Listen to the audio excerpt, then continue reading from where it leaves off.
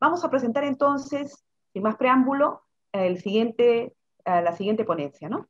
Es hacia un modelo educativo de gestión axiológico-formativa para el desarrollo del pensamiento crítico. Ahí tenemos eh, el doctor Ángel de Roncelia Costa, eh, Mercedes Nagamine y Daniela Medina Coronado, de la Universidad César Vallejo de Perú. Me parece que está aquí eh, Mercedes Nagamine, ¿sí? Sí, buenos días. ¿Cómo está? ¿Cómo está Patricia? Buenos días. ¿Qué, tal? Bienvenida. Este Bienvenida, compatriota.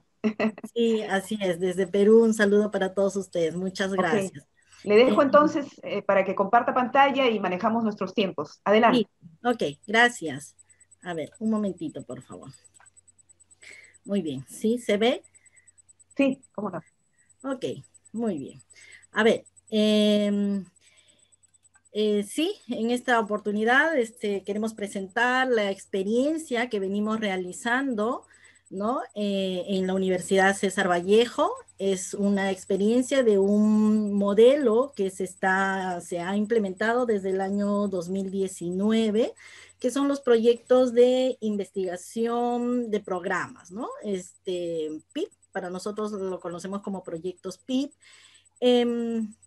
En esta oportunidad, bueno, este proyecto hacia un modelo educativo de gestión axiológica formativa, ¿no? Para el desarrollo de pensamiento crítico, eh, está siendo desarrollado por el doctor Ángel de Roncelia Costa, la magíster eh, Daniela Merina y, bueno, su servidora, ¿no? Entonces, quisiera comentarles un poquito así muy rápido cómo es que funciona este, este proyecto. Eh, en la Universidad César Vallejo, la que em, eh, viene desarrollando, em, un momentito por favor, es la Universidad César Vallejo la que viene desarrollando este, este programa. Em, nosotros tenemos cinco, cinco, programas de doctorado, ¿no? Este es el doctorado en administración, el doctorado en derecho, en educación, en gestión pública y gobernabilidad, y el doctorado en psicología, ¿no? Entonces nosotros estamos dentro del programa del doctorado en educación. Entonces, ¿cómo, cómo es que funcionan estos eh, proyectos de investigación de programas PIP de doctorado?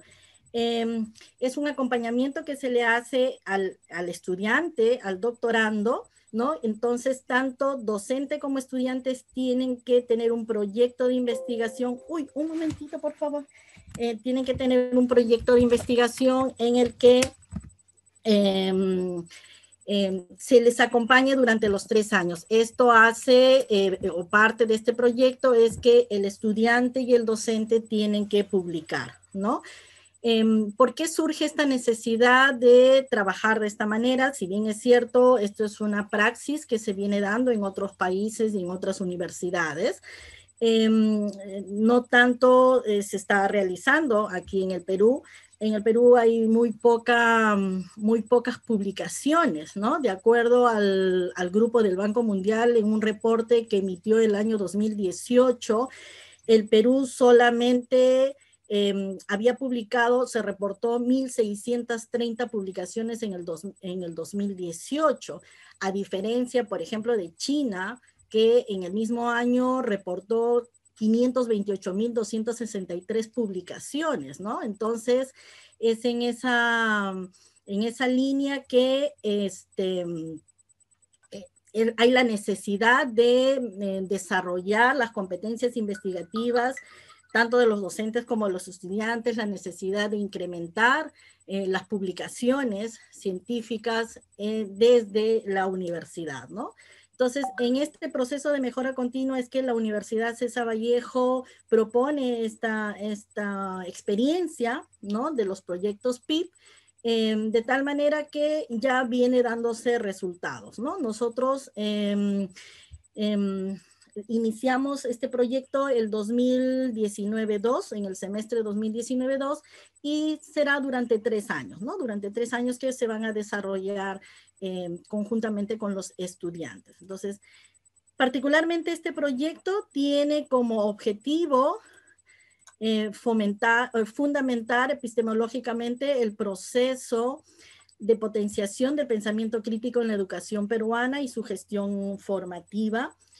Eh, determinar las tendencias históricas del proceso de potenciación del pensamiento crítico en la educación peruana y su gestión formativa. ¿no? Eh, eh, ahí hemos visto la necesidad de em, estudiar esta, em, esta em, habilidad que debe tener los estudiantes, toda vez que de acuerdo a Em, al reporte igualmente que emite el, grupo del Banco Mundial, que esta es una de las habilidades más necesarias en los em, estudiantes y futuros em, profesionales eh, y, en general, ¿no? es el pensamiento crítico, conjuntamente con la capacidad de tomar decisiones y de resolver problemas, ¿no? Entonces, definitivamente, pensamiento crítico nos va a mm, eh, conllevar también a las dos otras habilidades, ¿no? Entonces, eh, para ello, nosotros vamos a elaborar o validar un instrumento para evaluar pensamiento crítico y su potenciación en estudiantes y docentes en los niveles de primaria, secundaria y universitaria en las regiones de Cusco, Apurímac y Trujillo Cusco y Apurímac es la zona sur del Perú y Trujillo es una zona norte. ¿Por qué tenemos estas diferencias? Porque este, parte de nuestros estudiantes eh, vienen de estas, de estas zonas, ¿no? Estamos trabajando en, la unidad semipresencial de la Universidad César Vallejo, por tanto tenemos estudiantes que eh, vienen de estas zonas, ¿no? Y como es un proyecto que se va a desarrollar conjuntamente con los estudiantes, Em, eh, nuestros estudiantes que son profesores, eh, son profesores de primaria, secundaria y universidad que nos va a permitir pues entonces em, recoger información y hacer un mapeo de cómo está el nivel de pensamiento crítico, ¿no? Este, en estas zonas. Es caracterizar, otro de los objetivos de nuestro proyecto es caracterizar el estado actual del proceso de potenciación del pensamiento crítico en la educación peruana, ¿no? ¿Para qué? para finalmente elaborar un modelo educativo de gestión axiológica formativa de pensamiento crítico en los contextos educativos, ¿no? Toda vez que, eh, de acuerdo a los resultados eh, de evaluación, por ejemplo, en comprensión lectora, de acuerdo a PISA, estamos eh, en los últimos lugares, y entonces un estudiante que no comprende lo que lee, estamos en un nivel muy bajo, nivel criterial, entonces em, eso dificulta el desarrollo del pensamiento crítico, ¿no? Entonces es necesario proponer un modelo educativo, ¿no? Eh, bueno, ah, después de ello nosotros recolectaremos, procesaremos y eh, se realizará la triangulación de los datos, tanto cuantitativos como cualitativos, ¿no? A, todos estos niveles que estamos proponiendo. Em, eh, otro de los objetivos es determinar los factores asociados al pensamiento crítico en estudiantes y docentes en, todos estos niveles y en estas eh, ciudades donde vamos a trabajar, ¿no? Entonces, para ver cuáles son aquellos factores que están de alguna manera limitando, ¿no? Em, el desarrollo de pensamiento crítico y eso también nos va a permitir al final este, proponer ¿no? este, eh, este modelo educativo. Y elaborar, elaborar propuestas educativas para el desarrollo de pensamiento crítico em, sustentadas en el modelo educativo de gestión axiológica formativa del pensamiento crítico en el contexto educativo. ¿no? Todo esto desde las tesis doctorales de nuestros estudiantes. ¿ok? Em, como resultado de este trabajo, eh, que se inició ah, en el semestre 2019-2, ¿sí? Ya estamos casi a, la mitad del proyecto. Ya como docentes hemos venido publicando, ¿no? Este, mm, parte del resultado de nuestros trabajos eh, en un primer lugar, se hizo una aproximación de las bases epistemológicas y metodológicas para el abordaje del pensamiento crítico en la educación peruana y una segunda publicación, desarrollo del pensamiento crítico, ¿no? Así es. Em, bueno, em, definitivamente está dando muy buenos resultados, creo yo, esta propuesta em, que eh, ha implementado la Universidad César Vallejo. Eh, actualmente nosotros contamos con casi o un poquito más de 100 proyectos de investigación de programas de doctorado, ¿no? Porque tenemos 12 campus a nivel nacional. Profesor Angelito, ¿se encuentra en la sala? Sí, sí, doctora. Ok, muy bien. Entonces le doy pase a usted para la siguiente parte. Muy bien, muy bien. Bueno, eh, de manera muy sintética, eh, ya eh, nuestra colega, la doctora Mercedes Nagamine, ha explicado un poco las bases de esto. Y bueno, solamente vamos a compartir la propuesta de modelo educativo de gestión axiológica, axiológico formativa del pensamiento crítico como una propuesta que estamos eh, eh, contribuyendo a la, tanto a la ciencia como a la comunidad práctica. ¿ya? Entonces, en este sentido, eh, es importante que ya estos elementos van a estar, estamos proyectando la publicación de estos resultados en el Journal de Investigación Cualitativa en Educación, que está en Scopus y bueno, en algún momento toda nuestra comunidad eh, va a ser parte de ello. Bueno, felicitar a la red, a nuestra red de estudios sobre educación y a la UTM por esta magnífica eh, experiencia que estamos viviendo. Nuestro proyecto, nuestro modelo tiene, eh, estamos proyectando dos dimensiones de manera muy rápida. les voy a significar lo que estamos moviendo.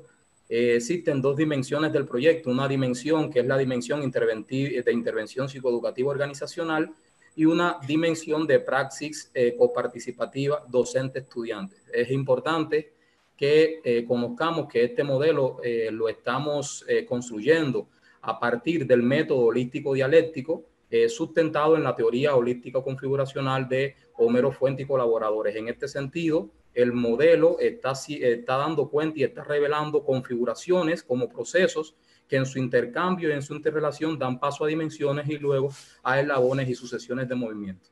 En este sentido, si nos damos cuenta, en la primera dimensión se están revelando eh, variables sociopsicológicas, factores sociopsicológicos que en un proyecto anterior ya han dado cuenta que son factores eh, psicosociales de éxito y que son el liderazgo transformacional. No voy a entrar en detalles porque no nos da el tiempo, el engagement escolar, el clima áulico y la autonomía pedagógica de los actores educativos, que esto está sobre la base de eh, una, unos resultados que estamos teniendo en otros espacios eh, con doctores que están en esta sala, que las bases de esto va a ser también publicado en la revista Reice eh, de, sobre la autonomía pedagógica, ya en abril del 2021. Esta dimensión nosotros estamos promoviendo en el clima áulico. Eh, las encuestas que hemos desarrollado hasta ahora han ponderado eh, un poco más el clima de innovación y el clima de apoyo, eh, no tanto el clima de tareas y el clima de metas, de manera que el engagement escolar que se hace desde ese liderazgo transformacional para la potenciación del pensamiento crítico tiene que estar en función de ese clima de innovación y ese clima de apoyo, desde esa coparticipación docente-estudiante. ¿ya? Entonces, eh, existen dos configuraciones muy importantes que están dando, que tienen muchas potencialidades, que son el compromiso docente.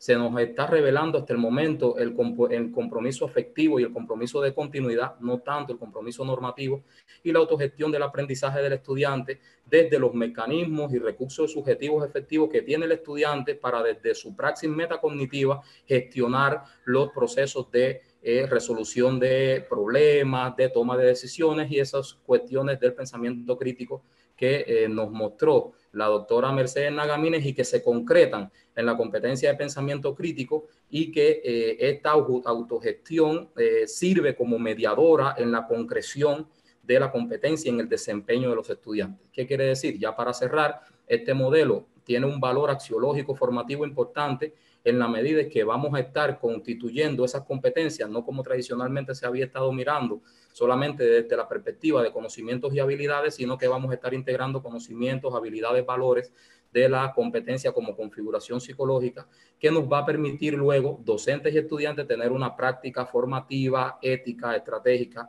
dialógica, interactiva y basada en valores. Esto es nuestra propuesta, grosso modo. Eh, las gracias a todos los colegas que estamos participando y eh, estamos abiertos a las preguntas, a eh, todo el debate rico que se puede generar a partir de esta proyección.